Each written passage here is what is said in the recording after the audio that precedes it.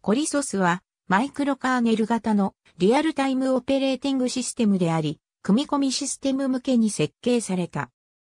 開発元のコーラスシステムは1997年にサンマイクロシステムズが買収した。現在はサンもコリソスをサポートしていない。コーラスシステムの創業者らは2002年8月に新たな企業、ジャルナを立ち上げた。ジャルナは後にバートシュアロジェックスに解消している。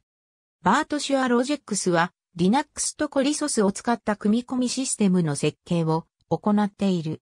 バートシュアロジェックスによると C5 はキャリアグレードのオペレーティングシステムであり、現在も活発に保守されている。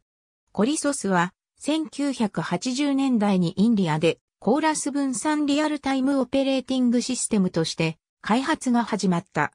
徐々に分散の観点が小さくなり、リアルタイムとモジュール化の観点が重視されるようになっていった。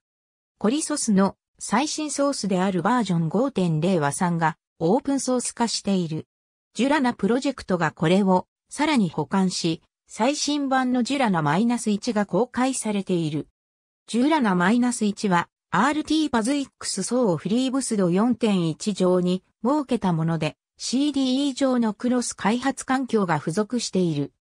sourceforge.net の統計情報によると、このソフトウェアは2008年現在もダウンロードされて使われている。ありがとうございます。